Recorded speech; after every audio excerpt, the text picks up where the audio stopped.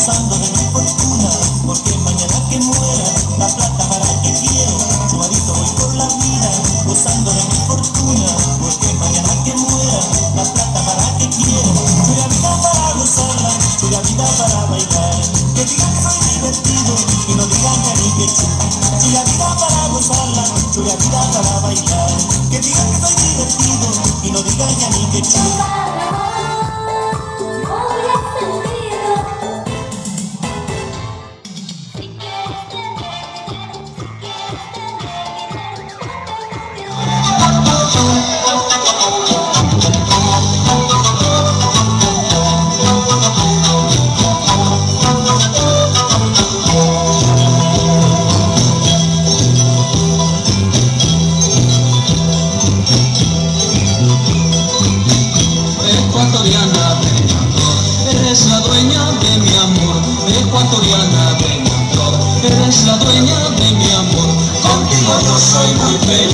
al darte mi corazón. Contigo yo soy muy feliz al darte mi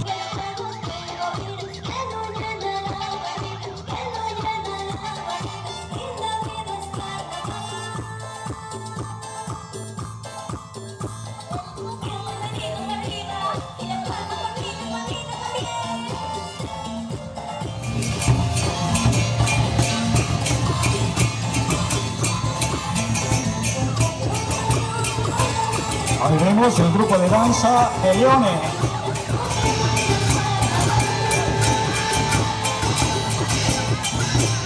Ver los medios de prensa tomando, captando las imágenes de las candidatas a Reina del Carnaval 2011 de la amalgama de bellezas yaguacheñas.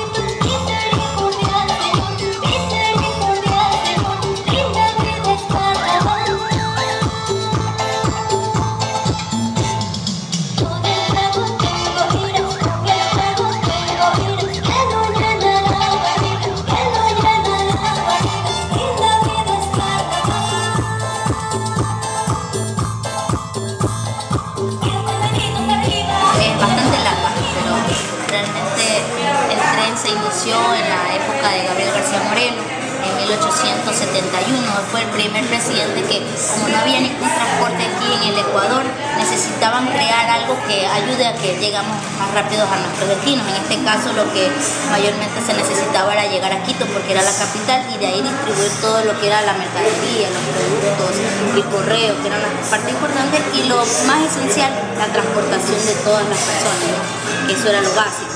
Entonces él en 1871 él construye 40 kilómetros desde aquí de Yahuachi hasta Naranjito y en la estación la, hace en 1871 y luego eh, ya pasó el tiempo, dejaron ahí en, stand-by hasta que vinieron algunos presidentes para ayudar a, esta construcción. Pero eh, solo les voy a nombrar algunos nomás de los que básicamente aportaron o tienen mayor relevancia. Por ejemplo, fue otro de ellos que fue el que le siguió, fue José María Plácido y Camaño. Él trajo lo que fue la, el telégrafo, que era la forma como se comunicaban entre estación y estación para que la llegada del tren no se pueda chocar. Y esa era una de las partes. Y lo otro era que él arregló los 40 kilómetros que Gabriel García Moreno había había hecho, los, re, los readecuó y continuó hasta Chile. Luego retrocedió y comenzó la construcción desde aquí hasta Durán. Entonces cuando ya vino el Hoy Alfaro en 1900 aproximadamente, construyen la primera estación allá en, en Durán y se arregla lo que ya había estado construido y llega él sí hasta Chimbacalle, al sur de Quito, en 1908 y a él se le atribuye la construcción del tren debido a que muchos otros presidentes no lo lograron, lo dejaron inconcluso y él fue el que terminó ese gran proyecto que hasta cierto punto le decían el más difícil del mundo porque eran, tenían muchas oposiciones ya sea política, también la parte administrativa y no solo eso, sino en el momento de la construcción muchos ecuatorianos no querían no querían construir por el miedo a, todos los problemas que tenían. Por ejemplo, en la parte de la costa, en esta parte de la costa, había problemas con las inundaciones de los rieles. Al momento que se cortaban los árboles, habían bichos o, habían unos bichitos rojos que les, picaban en las piernas y esos bichitos este, les daba fiebre y algunos morían. En la parte de la sierra era también lo del chanchan, que cada vez y cuando arrasaba con las, rieles, morían algunos en el intento de, de rescatarlas y también en la nariz del diablo, que era la parte más difícil de, de acceso para la construcción, también moría. Entonces en vista de eso se trajeron 4.000 jamaiquinos a trabajar acá, de los cuales existen 17 familias acá en Durán, que de esas familias eh, son afrodescendientes con apellidos extranjeros Brown, y todas esas personas viven en Durán, que es una, comienza una herencia cultural. Aparte también de personas importantes que dieron a conocer al Ecuador por la fama que tuvieron y le dieron un realce al país. Por ejemplo, fue Julio Jaramillo. Julio Jaramillo es música nacional y él nos ayudó muchísimo. Él desciende de una familia de jamaiquinos que vinieron a trabajar acá, pero por el lado materno. Eh, no, era, no era Julio Jaramillo Laurido, él era Julio Jaramillo Lorenz. Pero como aquí siempre hemos tenido un poco de inconvenientes con esto de la, de la, de la pronunciación y del registro de los nombres, no les pusieron Lorenz sino Laurino. Así también Alberto Spencer, que fue, fue futbolista, él también desciende de estas personas que vinieron a trabajar acá en el tren de, Jamaica, por eso es que es Alberto Spencer, ese apellido Spencer. Y así algunos como Jacinta Sandiford, que fue la primera mujer que ganó el Juegos Sudamericanos en Argentina y le dio realce al Ecuador, pero ellos también vinieron acá.